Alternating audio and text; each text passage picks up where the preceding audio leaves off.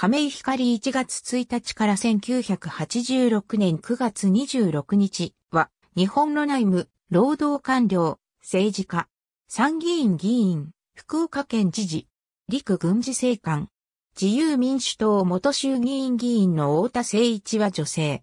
福岡県小倉市古千場町出身。藤吉の三男。旧制福岡高等学校を経て、1935年、東京帝国大学法学部卒業。内務省に入省。社会局属。労働省労働基準局長、労政局長などを歴任し、1960年、労働事務次官。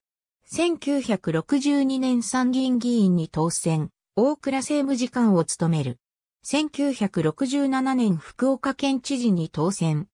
県職員労働組合や教職員組合に対して強硬な姿勢で臨む日産自動車九州工場を誘致するなどの姿勢を敷く。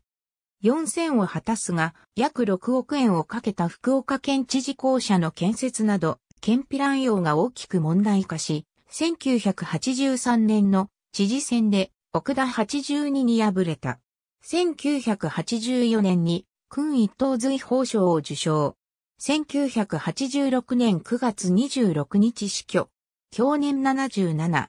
趣味は、語、麻雀、ゴルフ、長唄。宗教は、浄土宗。ありがとうございます。